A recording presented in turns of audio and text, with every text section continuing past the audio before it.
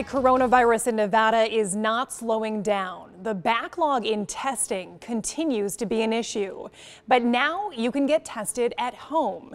And 13 Action News reporter Austin Carter is speaking with a local doctor about the ease of access and, most importantly, the accuracy of these tests. Well, there are several companies out there with approved at-home COVID-19 tests. The accessibility is certainly appealing, but a bigger issue remains, and that is the wait to get those test results.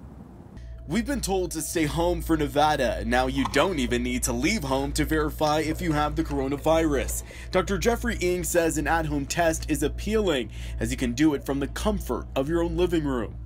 So it's the convenience part that you're really getting with a home test. You don't need a doctor's appointment. And if it's a positive test, um, quarantine yourself. Pixel by LabCorp is an at-home COVID-19 test which requires a nasal swab. It's then shipped to a lab. Home tests don't mean avoiding any quarantine time though. LabCorp says it will be about three to five days for results from the time the swab arrives to the lab. Dr. Ng says if you don't have good internet knowledge, avoid an at-home test. Now you're wondering, you're, you're worried about the accuracy, whether even registering the test line is proper. You know, maybe they got the right address, the right information. Dr. Ng does advise, though, if you are able to get to a drive-through location to do so as it could cut down on possible contamination. But regardless where the test is taken, the wait for results is still an issue that many are facing after testing is done. Dr. Ng says that medical professionals are just as frustrated about those waits, trying to provide a critical answer to their patients. If you go to a place where you're getting swabbed and it's at a Quest lab station or it's at your doctor's office and they swab you and they submit it to Quest themselves, those are the ones that I'm finding that are taking the longest return time.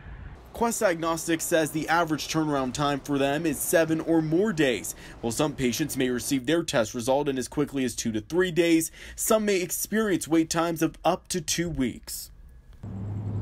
Now, most of the tests we've seen do require some sort of an upfront payment. In terms of price for the tests, well, we've seen them just over $100. Now, that test from LabCorp Pixel, well, they actually do not require any sort of upfront payment. They'll actually bill your insurance.